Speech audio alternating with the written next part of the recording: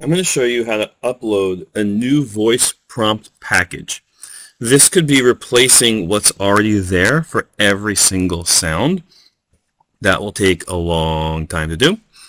But if you have specific messages you want to replace, so the first step is you have to know the file name of the audio files. And you're going to look at this file that you download called UCM Voice Prompt List. And it's going to show you the file name of every single audio file in the system along with the text-to-speech that it is using. So if you want to re-record or alter it, you have this to work off of. And it shows you where this file came from. Is it from Grandstream? Is it from Asterisk? Or other things like that.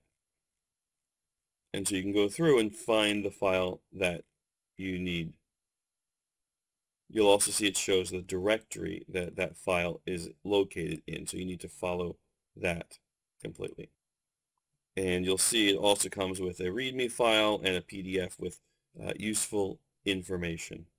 So we have this file here called Asterisk Core Sounds with the language EN, English, and I'm using the WAV file one because it's easier to work with.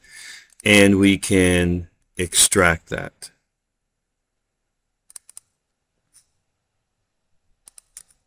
And you'll see uh, VM login.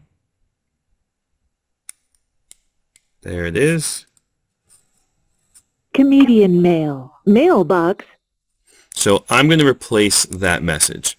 So I've gone to a website called ElevenLabs and I have an account and I'm using this voice here called Serena and it has a great um, replace a great voice sound that should match pretty well and so I put in this text here um, or welcome to the voicemail system enter your mailbox number and then you generate it. To the voicemail system. Enter your mailbox number. And then we can download that file. Obviously, we will want to rename that so that it matches what we had before. Uh, in, so I have a new folder here. Ignore this. Here we go.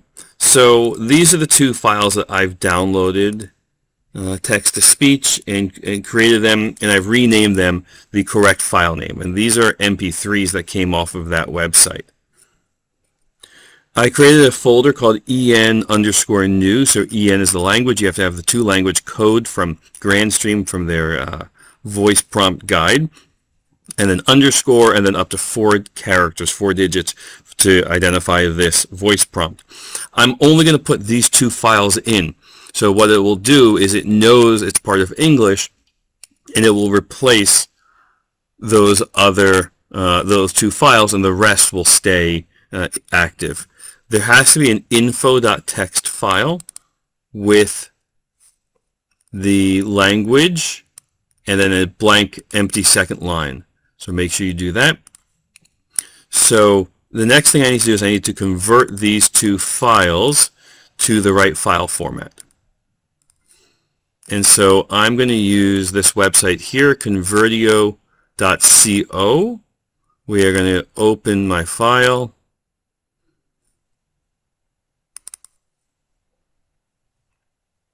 And I'm going to convert it to a GSM. I could have done them both at the same time. And it should take only a couple seconds to convert since it's such a tiny file.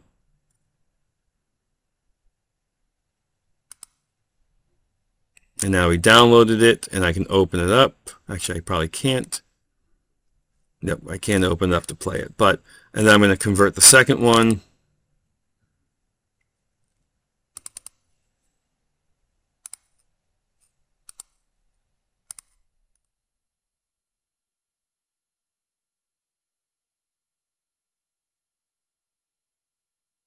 And then download it.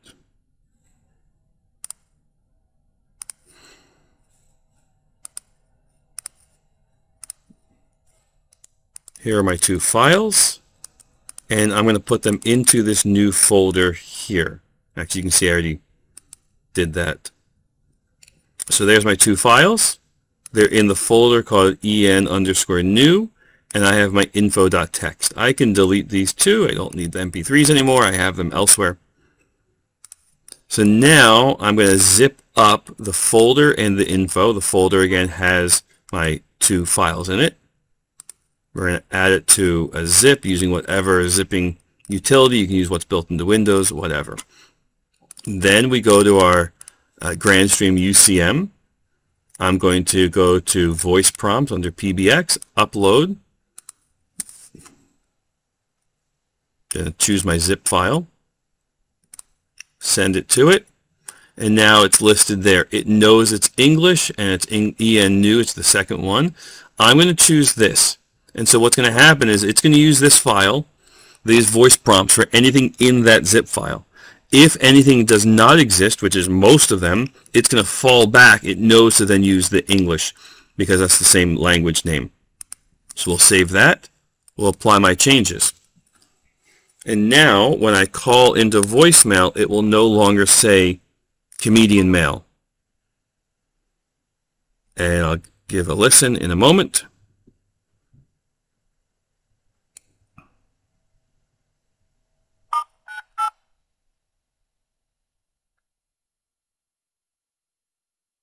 Welcome to the voicemail system. Enter your extension number. And there we go. So it played my new prompt. Very easy.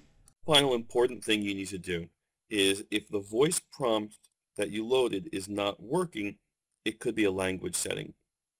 Go to your extensions, edit one of the extensions, and check out what language it's using. If it's hard-coded to a specific language, it will not use the modified language that you uploaded. What you'd have to do is either choose that new language or better yet, just leave it at default and then it will then follow whatever you set in the voice prompt. So if it's English or whatever. This way, if a specific user has a different language sele selection, then it will apply. You can also edit multiple extensions at once if you need to by going to edit here. And then you can find language and push that